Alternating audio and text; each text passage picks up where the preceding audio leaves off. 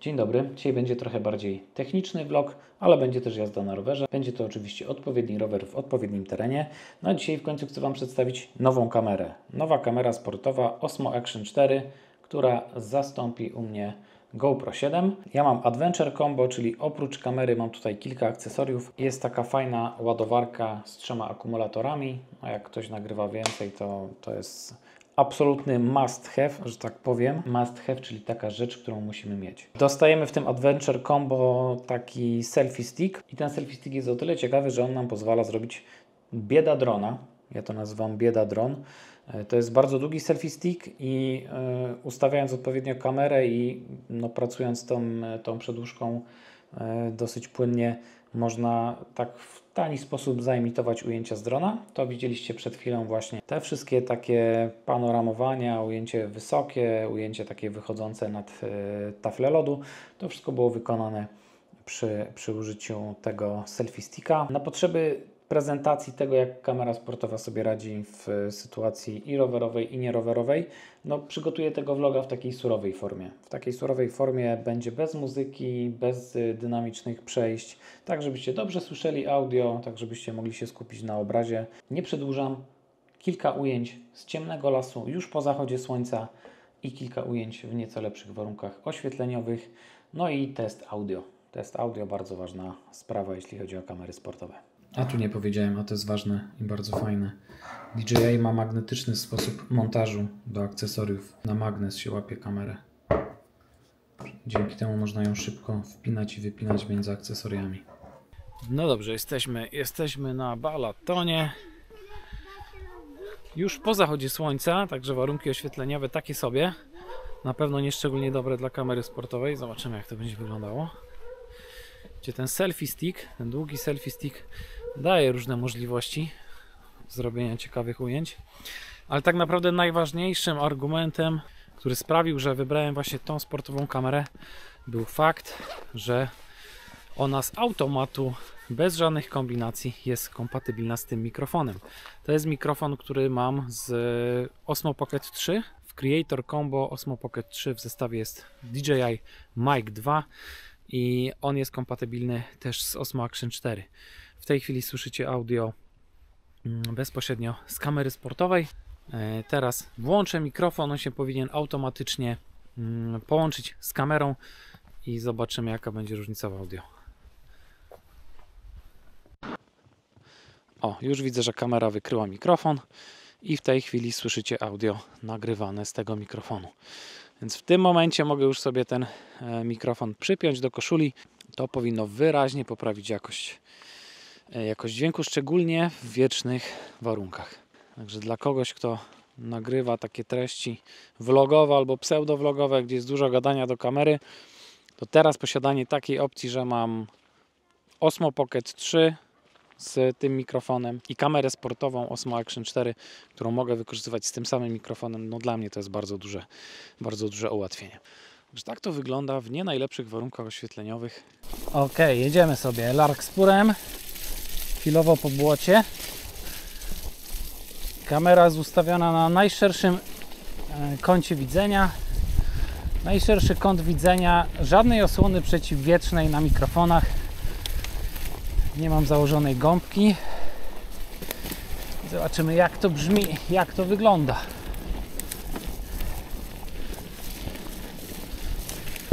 Dropper w dół.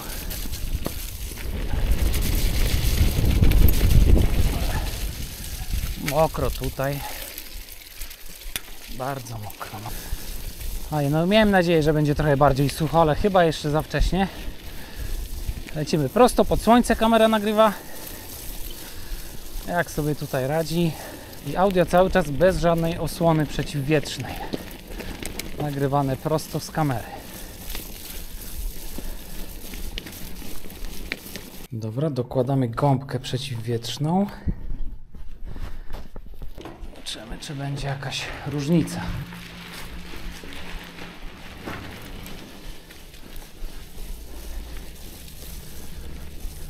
Próba audio raz, dwa, trzy.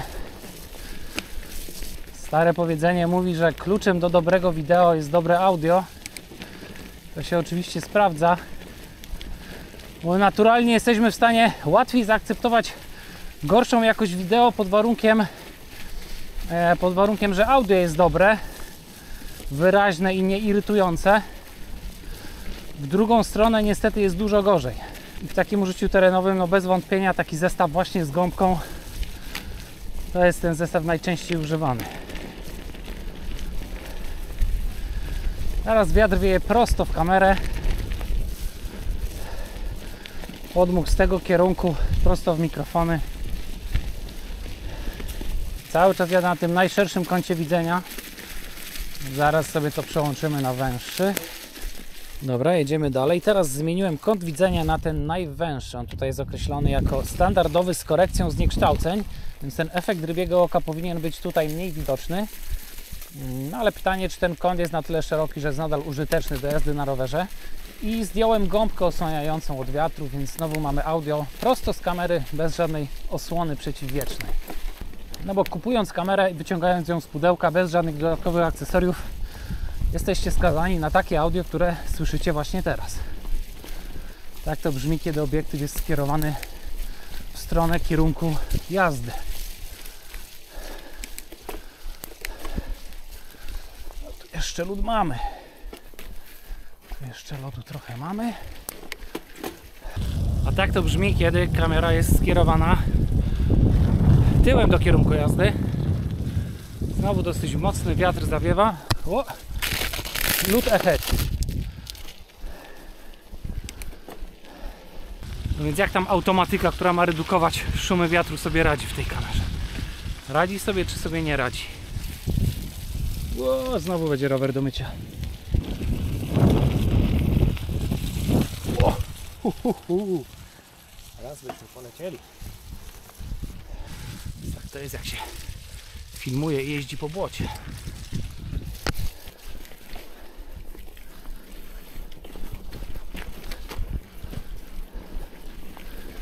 No i co, taki rower miejski? Ciach. Tutaj.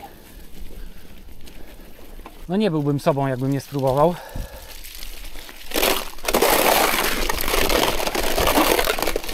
Ach, trochę za wąsko, żeby pedałować.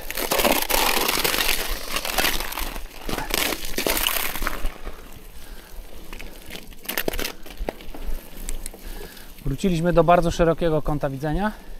No i teraz ostateczny test audio. Kąt widzenia dalej bardzo szeroki, ale już mamy włączony mikrofon DJI Mic 2. Zobaczymy jak teraz to będzie brzmiało. Czy to brzmi lepiej, czy to brzmi gorzej? Napiszcie w komentarzach. No wiadomo, że taki scenariusz, że gdzieś tam na ultramaratonie, na jakimś dłuższym wyjeździe e, będzie jazda cały czas z mikrofonem podpiętym e, tym dodatkowym, to raczej się nie sprawdzi. Na takich wyjazdach dalej będzie trzeba głównie korzystać z tego o, dropper w dół.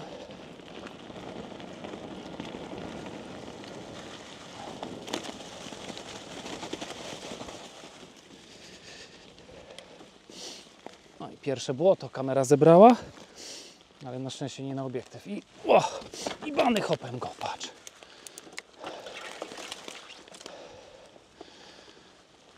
Tak, więc taki scenariusz, że na dłuższym wyjeździe będzie ten mikrofon cały czas jeździł, no to się raczej nie sprawdzi. Ale napiszcie jak to brzmi. Teraz znowu jadę w kierunku wiatru, wieję prosto w mikrofon. Czy to brzmi lepiej, czy gorzej?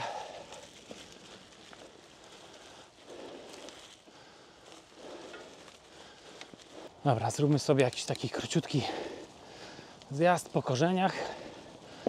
Dropper w dół.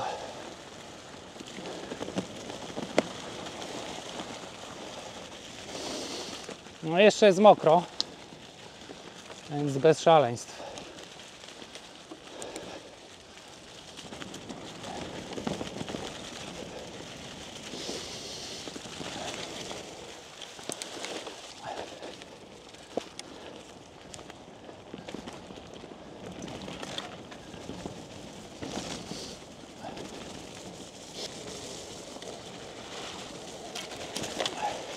O, ślisko jest jak cholera. Tutaj mamy jednak taki bieżnik mocno slikowy. Teraz zobaczcie, mogę teraz zdjąć kamerę i odjechać kamerą gdzieś tam dalej na oponę, coś tam powiedzieć o tej oponie, na przykład, że ma taki tutaj bieżnik a la slick na tej górnej części i w zasadzie na, w tych warunkach to tańczy tutaj mocno jak na lodzie. I mimo, że kamera jest gdzieś tam daleko ode mnie, to Wy powinniście słyszeć cały czas takie samo dobre audio. Albo mogę też kamerę po prostu powiesić na drzewie, odjechać sobie, wsiną dal, tak, odjeżdżam, odjeżdżam, odjeżdżam, a Wy pewnie cały czas mnie słyszycie. Zawracam sobie, proszę bardzo, zawróciłem. I teraz jadę i robię tutaj prezentację na temat tego przewspaniałego roweru. O, mówię Wam, że tutaj jest ślisko i Wy to wszystko bardzo dobrze słyszycie, a ja sobie jadę dalej. No, to fajnie działa, nie? No, ten rower w terenie naprawdę jest lepszy niż gravel. Bez dwóch zdań.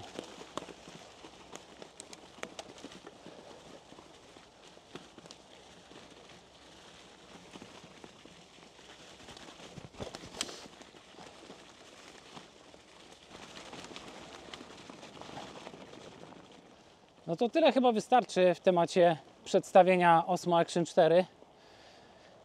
Napiszcie jak to wygląda. Że to chyba będzie wszystko w tym vlogu. Pies był. Więc możemy zamykać. To do zobaczenia jutro. Jeszcze jazdę bez trzymanki dołożymy do tego popisywania się. No I co? No zawsze to samo, nie?